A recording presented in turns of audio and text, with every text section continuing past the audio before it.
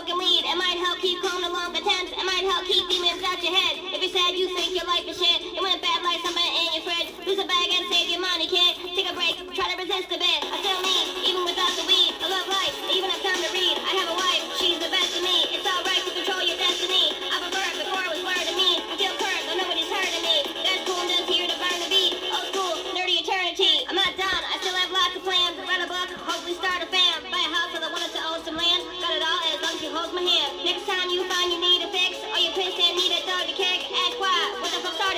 no lies. Love yourself a critic.